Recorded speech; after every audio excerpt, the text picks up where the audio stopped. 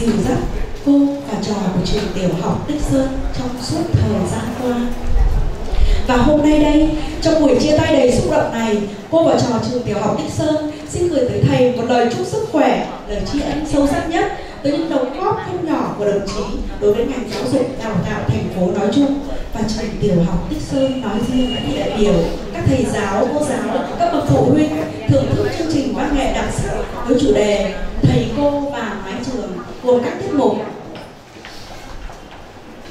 Con đường đến trường, sáng tác phạm đăng phương biểu diễn tốt ca giáo viên. Thương lắm thầy cô, sáng tác lê vinh phúc, biểu diễn học sinh châu anh.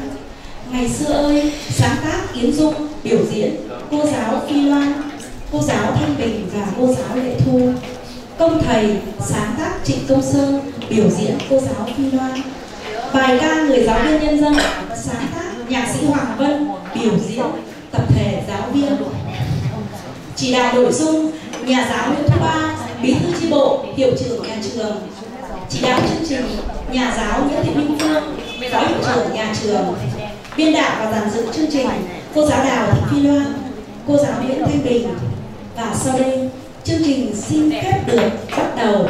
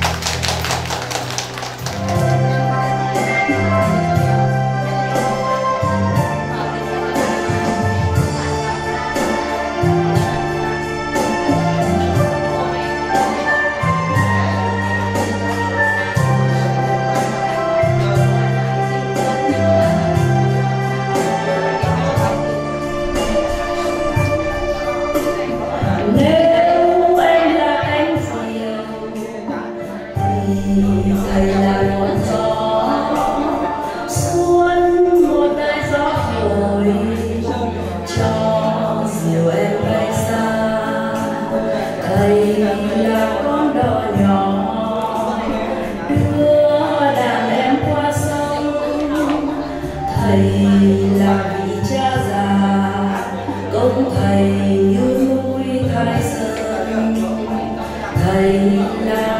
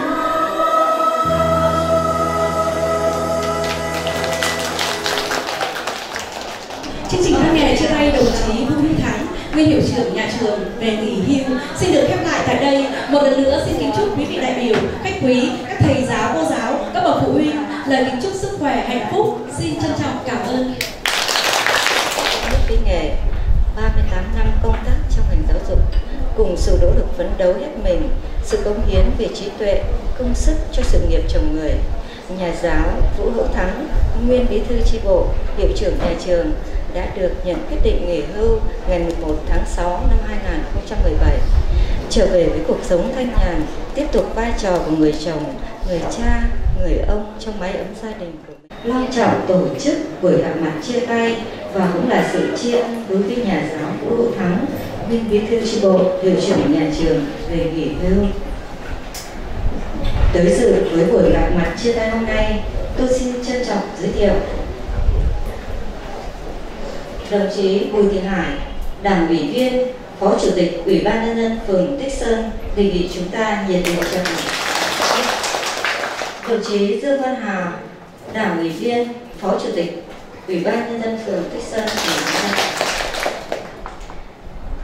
Đồng chí Đoàn Thị Tuyết, Đảng ủy viên, Chủ tịch Mặt trận Tổ quốc, Ủy ban nhân phường Tích Sơn đề nghị chúng ta nhiệt liệt chào mừng. Xin trân trọng giới thiệu các đồng chí là trưởng các ban ngành đoàn thể phường Tích Sơn cũng về dự. Đề nghị chúng ta nhiệt liệt chào mừng. Tới dự với buổi lễ chia tay hôm nay, còn có các đồng chí là trưởng khu và bí thư tri bộ khu Lam Sơn cũng trên địa bàn phường Tích Sơn.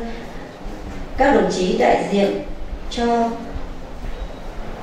về phía các cơ quan, doanh nghiệp, tôi xin được trân trọng giới thiệu có ông Lê Văn Châu, giám đốc trung tâm y tế thành phố Vĩnh Yên cùng các đại biểu đến dự để chúng ta tới dự buổi lễ chia tay hôm nay, xin trân trọng được giới thiệu có đồng chí Lê Đức Đạo, trưởng ban đại diện hội phụ huynh học sinh của nhà trường, cùng các ông bà là trưởng ban đại diện của các lớp, đề nghị chúng ta nhiệt liệt chào mừng. Xin trân trọng giới thiệu về phía các doanh nghiệp có đồng chí Nguyễn Đức Nguyên đại diện cho doanh nghiệp A và T cũng đến dự đề nghị chúng ta nhiệt liệt chào mừng đồng chí Nguyễn Thị Loan, đại diện cho công ty thương mại và dịch vụ Phú An cũng đến dự đề nghị chúng ta nhiệt liệt chào mừng thưa các vị đại biểu, thưa toàn thể các đồng chí trong cuộc đời mỗi con người, ai cũng phải trải qua thời gian học tập, đi làm, thay đổi nơi công tác và kết thúc nơi làm việc với biết bao kỷ niệm, vui buồn. Thời gian thấm thoát trôi qua, đồng chí Vũ Hữu Thắng đã được về nghỉ theo chế độ. Đó là thuận theo lẽ tự nhiên. Nhưng đến lúc phải chia tay, chúng ta ai cũng cảm thấy bùi ngùi, xúc động. Ôn cũ để biết mới, để thế hệ trẻ như chúng tôi càng tự hào về đồng chí và luôn phấn đấu vươn lên. Kính thưa các quý vị đại biểu, thưa toàn thể các đồng chí, Hôm nay, trong buổi gặp mặt ấm áp tình đồng chí, đồng nghiệp, có sự hiện diện của quý vị đại biểu, các vị khách, khách quý, cùng tập thể cán bộ, giáo viên, nhân viên trường tiểu học Tích Sơn, chúng ta cùng ôn lại quá trình công tác của nhà giáo Vũ Hữu Thắng, nguyên bí thư tri bộ, hiệu trưởng nhà trường. Có thể xem đây là sự tri ân của nhà trường đối với công lao đóng góp của đồng chí đối với trường tiểu học Tích Sơn nói riêng. Ngay từ khi còn là học sinh ngồi trên ghế nhà trường, thầy Vũ Hữu Thắng đã luôn ra sức học tập tốt, khát khao ấp ủ những ước mơ, hoài bão, khát khao cống hiến. Tốt nghiệp cao đẳng sư phạm Vĩnh Phúc năm 1979, được phân công công tác tại trường phổ thông cơ sở cấp 12 Ngũ Kiên, huyện Vĩnh Lạc. Sau thời gian công tác, đồng chí chuyển qua 8 đơn vị công tác ở 5 huyện thị khác nhau. Tích Sơn là đơn vị đang gặp khó khăn về nhiều mặt. Cơ sở vật chất thiếu thốn, mới chỉ có hai dãy nhà lớp học với 18 phòng học. Hai phòng học còn phải học tạm bằng cách ngăn bếp nấu thành lớp học. Nhà điều hành chưa có, ban giám hiệu làm việc ở lán để xe cho học sinh. Đội ngũ cán bộ quản lý hoàn toàn mới. Chất lượng giáo dục còn ở mức thấp so với mặt bằng chung của thành phố. Vậy là trọng trách đặt lên đôi vai của người cán bộ quản lý. Những câu hỏi cứ đau đáu trong tim, thôi thúc người lái chèo làm sao để đảm bảo được các điều kiện cho nhà trường hoạt động. Năm 2010, với sự tích cực tham mưu của ban giám hiệu, được sự quan tâm của lãnh đạo các cấp, trường tiểu học Tích Sơn được đầu tư xây dựng. Đầu tiên là khu nhà điều hành 3 tầng, rồi đến các dãy nhà lớp học 8 phòng học, nhà thể chất, nhà ăn bán chú, vân vân. Trải qua bao thăng trầm, vất vả, đến nay trường tiểu học Tích Sơn đã có một cơ ngơi khang trang, sạch đẹp và không ngừng lớn mạnh với hơn 1.200 học sinh và hơn 40 cán bộ giáo viên. Nhà trường được công nhận đạt chuẩn quốc gia mức độ 2, được Bộ trưởng Bộ Giáo dục tặng bằng khen nhiều năm liên tục trường đạt tập thể lao động xuất sắc. Chi bộ liên tục được công nhận là chi bộ trong sạch vững mạnh và năm 2016, chi bộ được tỉnh ủy tặng bằng khen chi bộ trong sạch vững mạnh 5 năm liền. Đạt được những thành tích đó là nhờ có sự nỗ lực phấn đấu của tập thể đội ngũ cán bộ, giáo viên, nhân viên nhà trường và đặc biệt là sự lãnh đạo, chỉ đạo của đồng chí hiệu trưởng. Đồng chí là tấm gương sáng để chúng tôi noi theo. Trong công việc, đồng chí là người luôn nêu cao tinh thần trách nhiệm, gương mẫu, tận tâm, tận lực với nghề, có tầm nhìn xa trông rộng trong cuộc sống. Đồng chí là người giản dị, gần gũi, nhẹ nhàng, bao dung với đồng nghiệp. Bản thân tôi rất may mắn được làm việc cùng với đồng chí 8 năm qua, được đồng chí dìu dắt, giúp đỡ. Chúng tôi học được từ đồng chí nhiều điều từ một người cán bộ quản lý giỏi đã có nhiều thành tích đóng góp vào sự nghiệp giáo dục của thành phố nói chung và trường tiểu học Tích Sơn nói riêng. Nhiều năm liên tục đạt danh hiệu chiến sĩ thi đua các cấp, được Ủy ban Nhân dân tỉnh tặng bằng khen và Bộ Giáo dục tặng bằng khen. Kính thưa quý vị đại biểu, thưa toàn thể các đồng chí, không biết nói gì hơn. Thay mặt cho tập thể cán bộ, giáo viên, nhân viên trường tiểu học Tích Sơn, chúng tôi xin hứa sẽ cố gắng giữ vững những thành quả mà nhà trường đã đạt được và cố gắng phát huy để xây dựng nhà trường ngày càng phát triển. Biết rằng chặng đường phía trước còn đầy gian nan, thử thách. Chúng tôi luôn mong muốn trong thời gian tới sẽ tiếp tục nhận được sự hỗ trợ giúp đỡ của đồng chí. Chúng tôi, những người tiếp nối sự nghiệp mà Đảng, Nhà nước giao phó, không thể nói hết được tình cảm của mình mà chỉ mong muốn rằng đồng chí mãi mãi là đồng nghiệp, là người anh, là người chú, vẫn là chỗ dựa vững chắc tinh thần của tập thể cán bộ, giáo viên, nhân viên nhà trường. Với tư cách cá nhân, đồng thời là người đại diện cho tập thể cán bộ, giáo viên, nhân viên trong nhà trường, tôi xin được gửi tới đồng chí lời tri ân sâu sắc vì sự dìu dắt, giúp đỡ của đồng chí để chúng tôi có được sự trưởng thành như ngày hôm nay. Tự trong sâu thẳm lòng mình, chúng tôi hiểu được những vất vả, khó khăn mà thế hệ các đồng chí đã phải trải qua. Sự gắng sức để vừa hoàn thành nhiệm vụ nhà nước giao cho và giữ vững vai trò của người chồng, người cha trong gia đình. Mong rằng tình cảm của chúng tôi mãi được đồng chí lưu giữ, sẽ luôn đồng hành cùng chúng tôi trong từng bước trưởng thành. Kính thưa các vị đại biểu, thưa toàn thể các đồng chí, vẫn biết rằng cần phải chúc mừng nhà giáo Hữu Thắng vì sau 38 năm cống hiến cho sự nghiệp giáo dục đến nay đồng chí đã hoàn thành xuất sắc nhiệm vụ này. Chúng tôi phải nói lời chia tay với người chèo lái con thuyền người anh cả của tập thể. Hội ngộ rồi chia ly đó cũng là quy luật tự nhiên và tất yếu của cuộc đời vẫn biết rằng đây là cuộc chia tay đã hẹn trước mà trong cuộc đời công tác ai cũng phải đi đến. Nhưng sao chúng tôi không khỏi xúc động, thoáng được buồn. Lúc này đây, bao kỷ niệm của tình đồng chí, đồng nghiệp lại ùa về, khiến lòng người trào dâng cảm xúc. Cảm ơn đồng chí vì những đóng góp cống hiến cho trường tiểu học Tích Sơn nói riêng và sự nghiệp giáo dục của thành phố nói chung. Cuối cùng, xin kính chúc đồng chí thật nhiều sức khỏe, hạnh phúc bên gia đình, con cháu kính chúc các vị đại biểu các vị khách quý mạnh khỏe hạnh phúc và thành công xin trân trọng cảm ơn kính thưa các đồng chí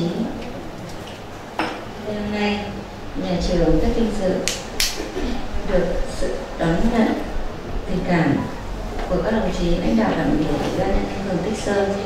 Sau đây tôi xin trân trọng giới thiệu đồng chí Bùi Thị Hằng, đảng ủy viên, phó chủ tịch ủy ban nhân dân phường Tích Sơn nên có đơn phát biểu trọng nhà giáo Vũ Hữu Thắng, nguyên bí thư chi bộ nhà trường, uh, hiệu trưởng trường tiểu học Tích Sơn.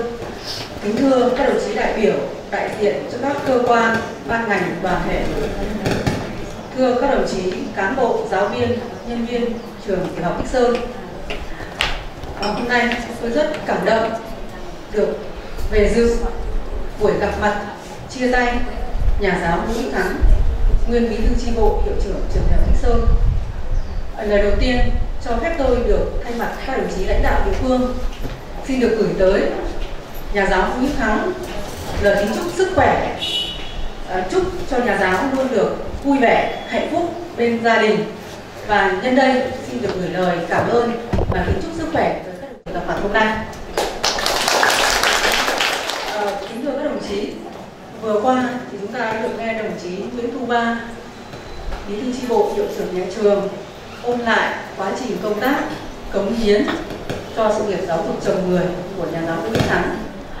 À, có lẽ chúng ta rất là cảm động với những dòng hồi ký với những lời tâm sự của cô giáo hiệu trưởng đại diện cho nhà trường đã có những lời tri ân đối với nhà giáo Nguyễn Thắng.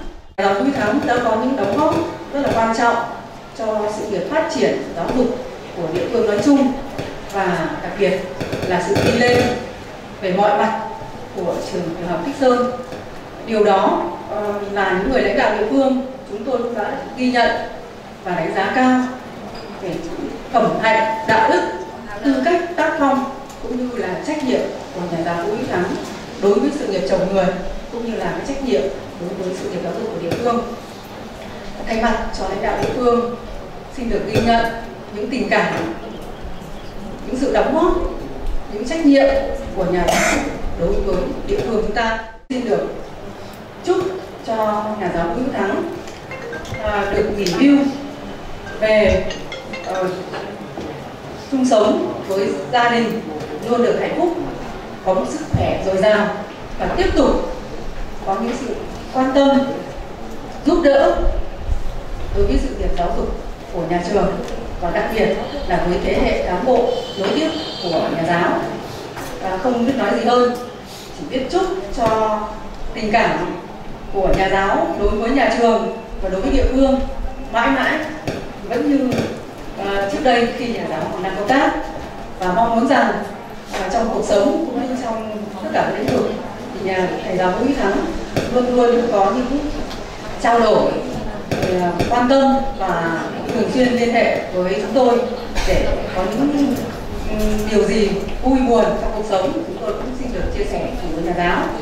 Thế và nhân dịp này, thì lãnh đạo địa phương cũng xin được gửi tới nhà giáo một bó hoa tươi thắm để chúc mừng thành công. Đây cũng là một sự thành công của nhà giáo Vũ Thắng. Thì sau đây xin mời các đồng chí lãnh đạo, cán bộ, đảng ủy ban dân phường lên uh, ờ, tặng hoa và chụp ảnh lưu niệm với nhà giáo Vũ Thắng. Xin kính mời nhà giáo Vũ Thắng. Lên nhận hoa và quà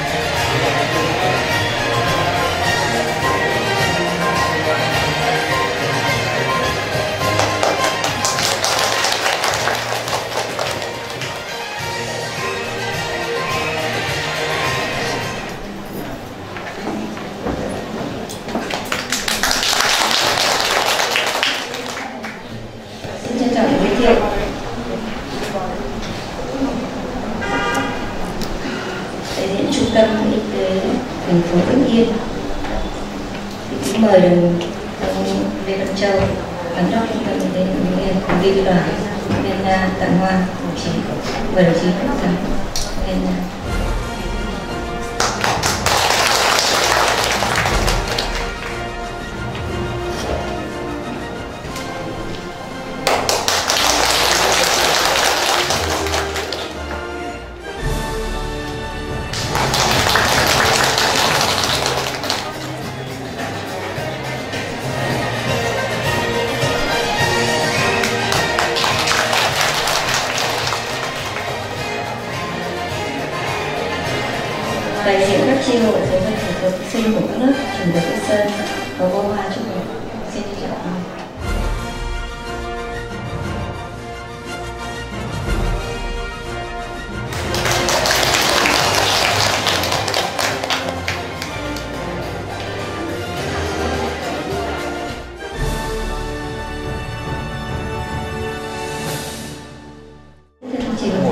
Xin chào giới thiệu à, đại diện ban quản lý cư tỉnh đội của bó hoa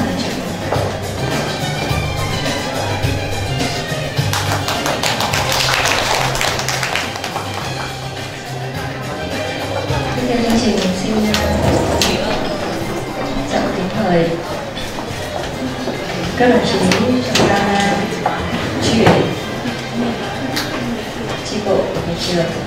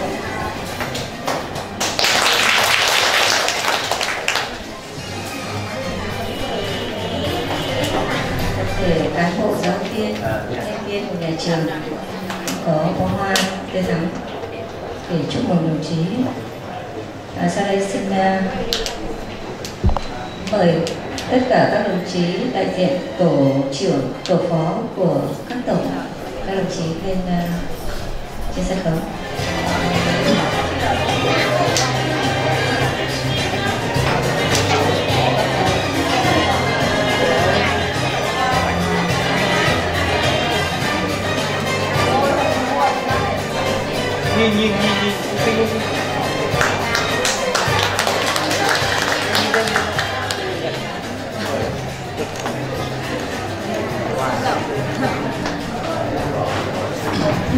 đã dành viên cho đồng chí Nguyễn Thắng và sau đây tôi xin trân trọng giới thiệu đồng chí Nguyễn Thắng nguyên bí thư chi bộ trưởng nhà trường sẽ có đôi lời phát biểu. Xin trân trọng kính mời đồng chí. Bùi Thị Hải. Thì à, Phó Chủ tịch Ủy ban nhân dân phường Lý Sơn kính thưa các đồng chí lãnh đạo, các ban ngành đoàn thể và cán bộ của phường. Kính thưa các đồng chí à, lãnh đạo, một số các cơ quan ban ngành đoàn thể đóng trên địa bàn thành phố. Kính thưa các ông bà, đại diện, ban, cha mẹ học sinh và đại diện cho tri hội phụ huynh, học sinh của tất cả các lớp. Kính thưa tất cả các đồng chí cán bộ giáo viên, nhân viên của trường đại học Lý Sơn. Trước hết cho tôi xin được nói lời cảm ơn chân thành và sự trân trọng và rất là xúc động của mình đối với các đồng chí ờ, lãnh đạo trong ban giám hiệu, tập thể cán bộ giáo viên của nhà trường. Cảm ơn các quý vị đại biểu các đồng chí lãnh đạo của các cơ quan các ban ngành đoàn thể các đơn vị doanh nghiệp và các bậc phụ huynh đại diện cho ban cha mẹ phụ huynh học sinh của trường tiểu học Tích Sơn đã bớt chút thời gian thu xếp công việc tới dự buổi giao lưu gặp mặt chia tay thân tình này. Tôi xin kính chúc tất cả các quý vị đại biểu, các bạn đồng nghiệp có mặt trong buổi chia tay uh, ngày hôm nay uh, đã dành cho chúng tôi và xin được kính chúc các vị đại biểu, các bạn bè đồng nghiệp, các bậc phụ huynh lời chúc sức khỏe, luôn mạnh khỏe, luôn thành công và luôn hạnh phúc trong công tác và trong cuộc sống. Của tôi được giảng dạy công tác là trường phổ thông cơ sở Lục Kiên của huyện Vĩnh Lạc, tức là gồm huyện Vĩnh Lạc và à, huyện Yên Lạc và huyện Vĩnh Tường trước đây. Sau hết hai năm tập sự thì tôi được, cũng xin được chia sẻ một đôi điều. Thì được à, thử đi học lớp ở tại trường cán bộ quản lý giáo dục nào thì chúng tôi công tác ở huyện như đồng chí hiệu trưởng vừa rồi cũng đã ôn lại. Thì chúng tôi cũng không nói nhiều thế nhưng ở đây thì cũng xin tâm sự và chia sẻ chúng tôi cũng công tác ở trường tiểu học. Mà lúc trước lúc chuyển sang huyện Tam Đảo, tức là huyện Tam Dương và huyện Bình Xuyên bây giờ, thì thị trấn chính là đóng ở tại hội họp chúng ta. Để làm hiệu trưởng trường thị trấn Tam Dương B, tách ra từ trường hợp hợp Thịnh. Thì đấy là trường của thị trấn Tam Dương của huyện mở rộng, thành phố thị xã mở rộng thì từ năm 1999 thì ở đó thì nhập vào thành phố Vĩnh Yên. Khi trường liên bản tách ra để thành lập trường tiểu học liên minh thì chúng tôi được tổ chức phân công về làm hiệu trưởng trường liên minh là bắt đầu từ khi trường liên minh thành lập là vào năm 2002 cho đến năm 2005 thì sau 3 năm học ở trường tiểu học liên minh thì chúng tôi cũng được tổ chức phân công về làm công tác ở tại phòng giáo dục đào tạo thành phố Vĩnh Yên 4 năm rưỡi. Và sau khi công tác thực ra thì chúng tôi cũng có một lá đơn. Lý do tại sao lại viết đơn và xin đích thẳng về trường hợp Tích sư thì chúng tôi cũng trình bày là nó cũng có khó khăn về gia đình. Thì lúc đấy vợ tôi cũng, cũng đang ốm cũng đi 10 viện mà gần 2 năm 18 tháng liên tục. Tác thì cũng để anh em trẻ phấn đấu. Thì chúng tôi cũng xin về cơ sở thì đấy là à, thế về chúng tôi cũng chia sẻ một chút nữa là chúng tôi cũng có nhiều cơ hội được các bác lãnh đạo. Ví dụ là phân công điều về trường phổ thông cơ sở tứ trưng, lúc là trường anh hùng, lá cơ đầu, cũng là của bậc trung học cơ sở của tỉnh vĩnh phú. Và thầy hoàng quốc tuế lúc ấy là nhà giáo đầu tiên ưu tú của tỉnh vĩnh phú. Về sau khi chúng tôi về thực tập quản lý ở đấy cùng với đi học quản lý năm 81, 82 thì chúng tôi cũng may mắn là được học cùng với anh Quân giám đốc hiện nay. Chị Đường Thị Thọ là chủ nhiệm ủy ban dân số của tỉnh Vĩnh Phú trước đây cũng là giáo viên. Và anh Nguyễn Ngọc Lâu đấy là một số anh em. Thế có lẽ là chúng tôi là cái người trọng tiến nhất thì cũng là công tác ở ở phòng sau đó là cũng về trường. Thế như tôi cũng tìm thấy là ở trường cơ sở nó cũng có những cái niềm vui riêng báo cáo các vị đại biểu là trước khi chúng tôi ra trường thì cũng được tỉnh đoàn Vĩnh Phú là cử đại diện thờ sở giáo dục của Vĩnh Phú và đại diện tỉnh đoàn. Vĩnh Phú là xin về công tác tại tỉnh đoàn ngay sau khi ra trường. Vất vả, nhưng nó cũng có những cái niềm vui. Cho nên như vậy là chúng tôi cũng có cái duyên là để được ở tám trường như đồng chí ba vừa mới khái quát. Tiểu học cũng có, hiệu trưởng trường trung học cơ sở cũng có và hiệu trưởng trường phổ thông cơ sở cả cấp 1 cấp 2 cũng có. Năm 1987 thì là cái năm chúng tôi làm hiệu trưởng là năm đầu tiên, là chính nhận bàn giao của thầy Kim ở tại trường tiểu, trường phổ thông cơ sở Yên Bình. Thầy Kim xin xin chuyển lên Kim Xá, lúc đấy thầy Kim còn. Ngày trước thì là xin chuyển lên một xã khác, thì chúng tôi về tiếp quản là hiệu trưởng của trường phổ thông cơ sở Yên Bình năm 1957 và cũng suốt thời gian từ đó đến nay thì làm công tác quản lý. Trước đấy thì hai năm thì chúng tôi cũng làm liệu phó ở trường trung học phổ thông cơ sở Trần Hưng. Cái đấy là chủ yếu trong cái quá trình công tác thì cũng là làm công tác quản lý là chính. Thế ờ, về đây thì có lẽ là đối với cái đặc biệt trong 8 trường mà đã đi qua thì cũng xin báo cáo là với tất cả các vị đại biểu là đều là những nơi cũng rất khó khăn. Chúng tôi cũng không kể ra đây nữa, rất khó khăn. Thế và về trường tiểu học tích sơn này thì không phải nói đồng chí hiệu trưởng đã nói đầy đủ, các bậc phụ huynh ở đây cũng ghi nhận. Thì chúng tôi cũng là cùng với cán bộ, tập thể cán bộ giáo viên trong ban giám hiệu, trong hội đồng sư phạm nhà trường, trong công đoàn, trong tri bộ thì cũng đã khắc phục được khó khăn và hoàn thành được nhiệm vụ được giao thế thì riêng năm học này thì cũng xin báo cáo với chúng tôi thấy là thực ra là chúng tôi vui nhiều hơn. Một số đồng chí thì cũng có thể nghĩ tôi buồn, nhưng mà thực ra là chúng tôi cảm thấy là cái vui thì là 9 phần. Cái lưu luyến thì chỉ một phần thôi. Cái thứ nhất là về việc nghỉ hưu thì chúng tôi không có băn khoăn gì cả, bởi vì chúng tôi nhận thức rõ đây là quy luật thôi. Mình đến tuổi thì mình hoạt hoàn thành nhiệm vụ là mình đúng tuổi, thế là mình nghỉ. Mà mình hoàn thành nhiệm vụ, thế cũng là niềm vui. Mình nghỉ thì có các đồng chí trẻ kế tiếp. Mình đến lúc mình cũng yếu rồi. Chưa yếu hẳn nhưng cũng đã yếu rồi. Chưa chậm, chưa nghỉ hẳn nhưng cũng đã chậm rồi. Và có những lúc cũng không còn quá là được minh mẫn như lúc trẻ. Đấy là quy luật. Thế mà vui là có các đồng chí kế thừa vui là các đồng chí cán bộ giáo viên của trường vẫn là đầy sức, tâm huyết, nhiệt tình và phấn đấu. Vui là nhà trường mình vẫn rất là, vẫn là đang khí thế đi lên. Lãnh đạo đảng ủy ủy ban nhân dân mặt trận tổ quốc và các ban ngành đoàn thể của phường. Các cơ quan hữu quan đóng trên địa bàn. Đấy, thế thì riêng năm nay thì chúng tôi chỉ xin cái quá trình công tác thì chúng tôi nhắc lại nhất là trường cái cơ sở chất của nhà trường thì cũng đã không phải là ước mơ đâu. Như nãy đồng chí ba nói mà đặc biệt trong từ lúc tôi nghỉ mới có hai tháng các đồng chí vẫn tiếp tục thay đổi rất nhiều.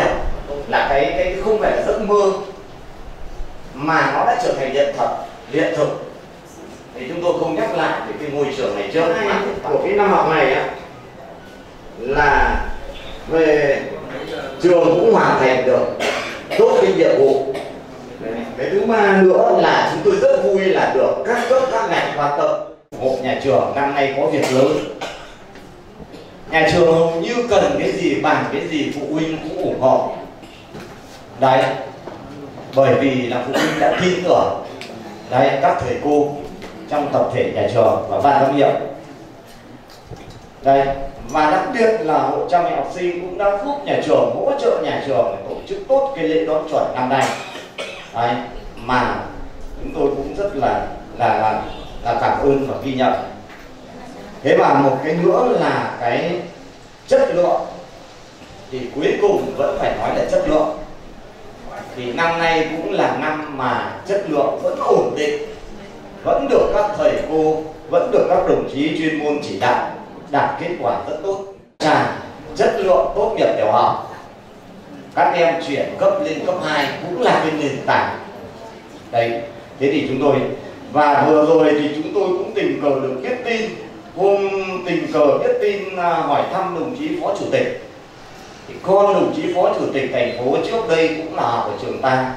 Do các cô giáo dạy toán, dạy tiếng việt bồi dưỡng và cháu cũng đang là trong cái đội tuyển để chuẩn bị đi thi quốc tế của năm sau.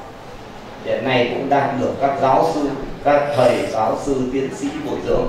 Mà em này là năm lớp 4 là học sinh trường tiểu học tích sư, thi học sinh toàn thành phố, đạt được điểm môn toán cao nhất toàn thành phố. Thì đúng là năm nay các trẻ mà học lớp 11 thì à, nữa là về có một cái việc rất quan trọng mà sau quá trình lâu dài thì cũng may mắn trong những năm tháng chúng tôi công tác thì đã được đón nhận là trường chuẩn quốc gia mức độ 2 của các thế hệ giáo viên từ trước đến nay phấn đấu. Thì đến thời điểm này cũng đã được hoàn tất và được công nhận. Thì trường của chúng ta cũng là một trong bốn trường của thành phố là tốt đầu và một trong 23 trường trên 176 trường của cả tỉnh có 23 trường là đạt chuẩn quốc gia mức độ 2 như vậy nó cũng mới chỉ độ khoảng 12 13 phần trăm. bộ. Vừa mới nói là chi bộ năm nay cũng rất là mừng là được từ đảng ủy phường xét gửi lên thành ủy và gửi lên tỉnh ủy. Và được là nhận bằng khen của đồng chí của tỉnh ủy thế thì một niềm vui nữa là khi chúng tôi nghỉ thì trường là lại là được các đồng chí kế cận tập thể ủng hộ, địa phương ủng hộ, hội phụ huynh. Rồi thì thành phố, các đồng chí lãnh đạo đã quyết định là bổ nhiệm một đồng chí hiệu trưởng mới ngay tại trường tiểu học Tích Sương đấy là những điều kiện rất phấn khởi và rất thuận lợi cho nhà trường để tiếp tục phong trào trong những năm tới. Mà năm nay, thời điểm này có ba đồng chí, ba đơn vị được bổ nhiệm. Thế ở trung học cơ sở Thanh Quang thì cũng đồng chí hiệu phó của trường Vĩnh Yên về làm hiệu trưởng. Thế trường Đình Trung thì cũng là đồng chí ở phòng về phụ trách. Và trường của chúng ta đây là trực tiếp là các đồng chí và đây thì đồng chí bí thư, chủ tịch công đoàn cũng vừa mới nhắc là đúng là sau 15 năm, nhiều lần thay đổi thì là hiệu trưởng, thì là chúng ta là rất là vinh dự là có đồng chí là thế tôi nghĩ rằng là cũng có rất nhiều đồng chí có khả năng. Đấy, thế nhưng mà cái này thì đấy cũng là một kinh nghiệm rất là chúng tôi là phấn khởi. Thì chúng tôi cũng xin được nói lời cảm ơn đến sự. Trước hết là về mặt tình cảm. Tất cả các đồng chí lãnh đạo, các đồng chí ba mẹ được việc và các đồng chí ở các ban ngành đoàn thể và cán bộ giáo viên của nhà trường đã dành cho tôi. Cả những việc công cũng như những việc gia đình, cả những lúc vui cũng như những lúc buồn. Trong quá trình công tác thì chúng tôi cũng hồi tưởng lại suy nghĩ là mình cũng có nhiều, còn nhiều khiếm khuyết. Nhiều thiếu sót. Kể cả công việc, kể cả về phương pháp lãnh đạo, kể cả về mặt tình cảm, sự quan tâm chu đáo cũng chưa được thật là đầy đủ sâu sắc sâu sắc đối với tất cả các đồng chí. Hoặc là chưa hiểu đúng được các đồng chí, chưa hiểu hết được các đồng chí.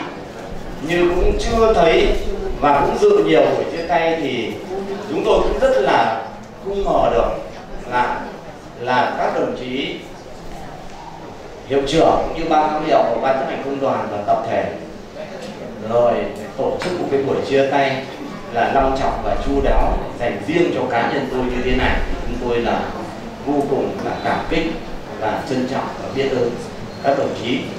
Tình cảm thì nó là vô giá, không thể tính được bằng bao nhiêu cả. Thì chúng tôi xin ghi nhớ và hết sức là cảm ơn tất cả cái tình cảm sự quan tâm các đồng chí đã dành cho tôi. Còn chúng tôi nói thì cũng là nhiệm vụ thôi, không có gì cả. Kính chúc sức khỏe các đồng chí lãnh đạo, các quý vị đại biểu, các bậc phụ huynh và kính chúc sức khỏe tất cả các đồng chí cán bộ, giáo viên, nhân viên của trường tiểu học Tích Sơn. Luôn mạnh khỏe, thành đạt và hạnh phúc. Chúc cho trường tiểu học Tích Sơn của chúng ta và chúng tôi có quyền tin rằng và thực sự là rất hy vọng và có thể tin tưởng chắc chắn rằng là với sự nỗ lực, chủ động sáng tạo, năng động sáng tạo tâm huyết à, đổi mới của các đồng chí lãnh đạo mới với sự tâm huyết, trách nhiệm, đoàn kết, nỗ lực phấn đấu của các đồng chí cán bộ giáo viên nhà trường với sự quan tâm của các đồng chí lãnh đạo các cấp đặc biệt gần gũi nhất trực tiếp là lãnh đạo đảng ủy ủy ban phường Vĩnh phương. Và đặc biệt nữa là hội cha mẹ học sinh sát cánh cùng với ban giám hiệu, cùng với các lớp. Thì chúng tôi rất tin tưởng trường tiểu Tích Sơn sẽ có những bước phát triển mới, có những bước tiến dài hơn nữa. Và xin kính chúc sức khỏe tất cả các đồng chí. Và để lưu lại cái một chút cái, cái, cái kỷ niệm thì chúng tôi cũng có một cái quà lưu niệm. Uh, xin kính tặng trước hết là tri bộ nhà trường một bức ảnh. Và kính tặng hội đồng sư phạm nhà trường một bức ảnh để lưu lại những cái kỷ niệm những cái ngày tháng công tác ừ, tám năm của chúng tôi ở tại trường tiểu học Thanh Sơn. Chúng tôi xin mời hai đồng chí trong ban giám hiệu mời đại diện ừ, công đoàn các tổ các đồng chí lên ờ, nhận và chụp ảnh cùng với chúng tôi.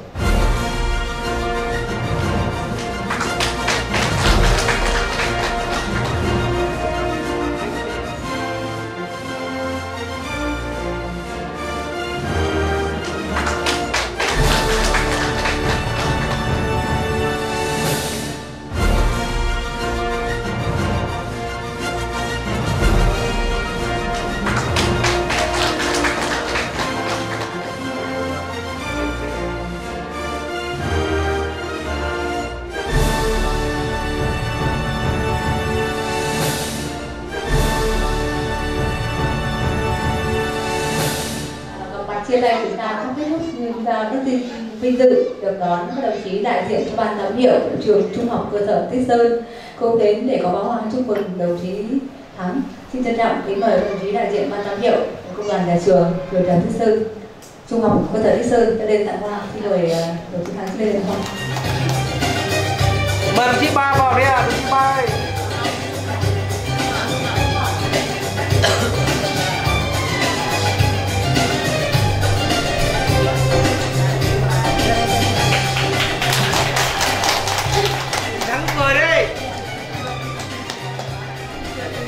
Người Tôi xin được cảm ơn các tình cảm mà đồng chí ờ, cũng như Thắng, trưởng thư bộ trường nhà trường đã dành tặng cho nhà trường. Kính thưa quý vị đại biểu cùng toàn thể ban thầy giáo cô giáo, buổi gặp mặt chia tay diễn ra trong không khí thân mật, chân tình và ấm áp, lắng đọng trong mỗi người những kỷ niệm sâu sắc khó quên. Thay mặt ban giám hiệu nhà trường, xin chân thành cảm ơn các vị đại biểu, các vị khách quý đã bớt chút thời gian với dự với cái buổi gặp mặt chia tay ngày hôm nay. Kính chúc các quý vị đại biểu sức khỏe, hạnh phúc. Sau đây, xin được trân trọng kính mời các quý vị đại biểu cùng toàn thể các đồng chí cán bộ giáo viên nhân viên nhà trường chúng ta sẽ dự bữa cơm liên hoan thân mật tại nhà hàng Tam Tam. Xin được trân trọng.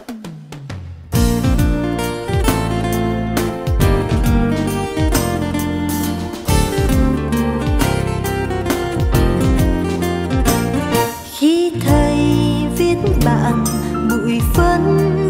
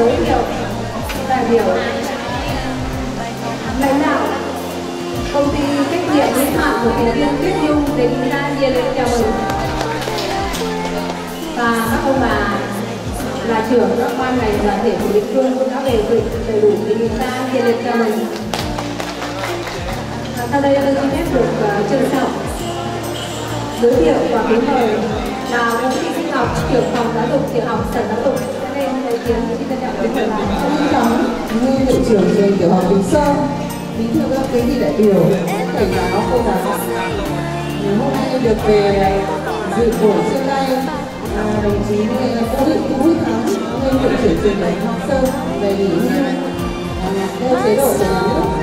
Thay mặt à, các đồng chí lãnh đạo sở chúng tôi xin gửi lời chúc sức khỏe đến toàn thể các quý vị đại biểu, các thầy giáo, cô giáo.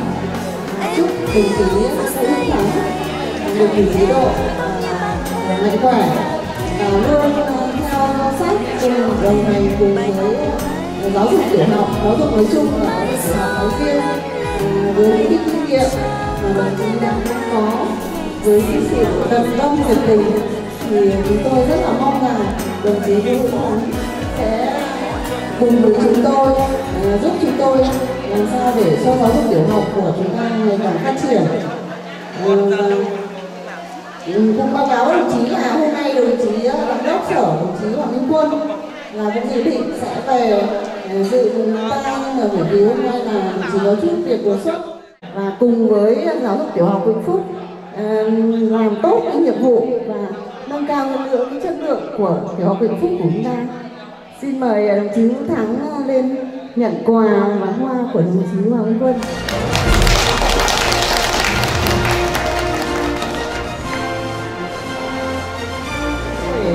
Chia tay đồng chí Thắng thì đồng chí Hoàng Minh Quân có bó hoa và quà để chúc mừng đồng chí à, Nguyễn Thu Ba tân hiệu trưởng trường tiểu học Tích Sơn. À, xin mời đồng chí à, Nguyễn Thu Ba lên nhận hoa và quà của đồng chí giám đốc.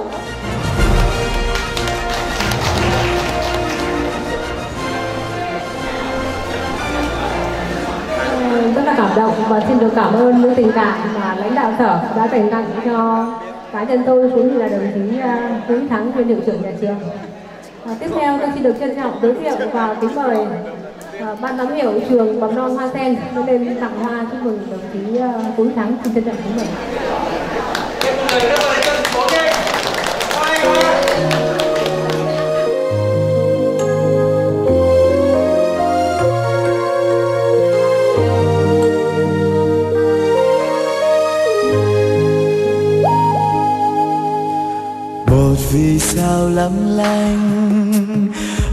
Trong đêm tối vàng thầy đã thắp sáng cho tôi bao ước mơ.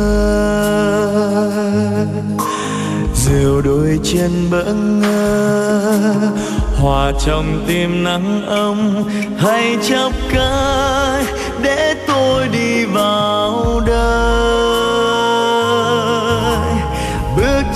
sân trường xưa, hàng ghế đã ngẩn ngơ nhìn theo. Nắng lung linh đùa vui, hàng mẹ vẫn tiếng ve gọi reo. Nét phân trên bảng đen, cùng năm tháng kéo tôi quay về, thời thơ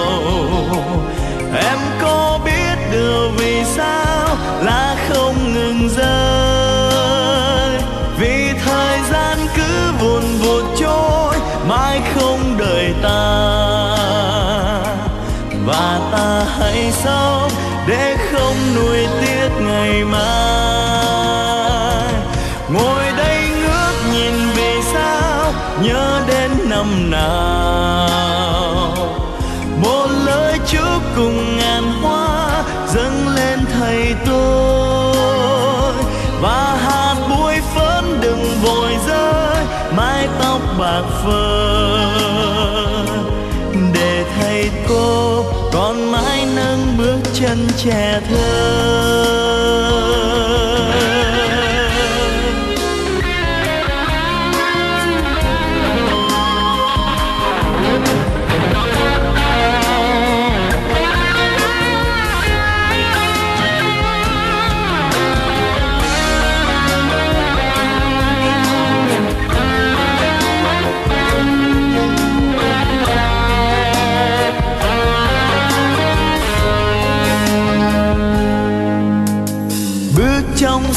Trường xưa, hàng ghế đã ngẩn ngơ nhìn theo. Nắng lung linh đùa vui, hàng mẹ vẫn tiếng ve gọi reo. Nét phấn trên bảng đen, cùng năm tháng kéo tôi quay về. Thời thơ ngồi lắng nghe lời thầy năm xưa.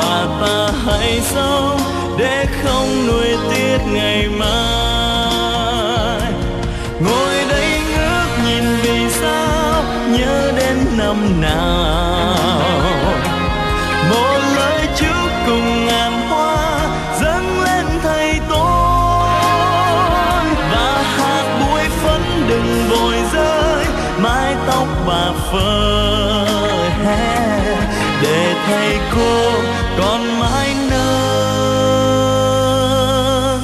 bước chân trẻ thơ